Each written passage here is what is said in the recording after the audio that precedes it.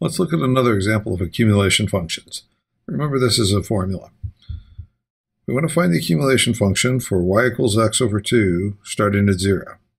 So that means our function is going to be x over 2. Let's draw a picture. Here's our function. So if we go off a distance x, we go up a height x over 2. That's what y equals x over 2 is.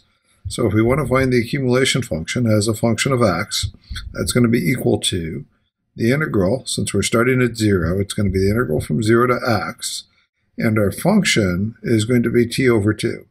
So we replace that x over 2 with a t. t is the dummy variable we're going to integrate with respect to.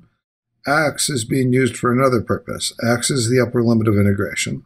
That's why we're using t, a different variable, as the dummy variable of integration. To compute this integral using the area interpretation, well, this integral is just the area of this triangle. So to compute this integral from 0 to x, we can just compute the area of this triangle. This triangle has a base of x, because we're going out to x, and it has a height of x over 2. We got the height by taking the x, substituting it in. x over 2 is y, so this is just y. It's x over 2. The area of a triangle is base times height over 2.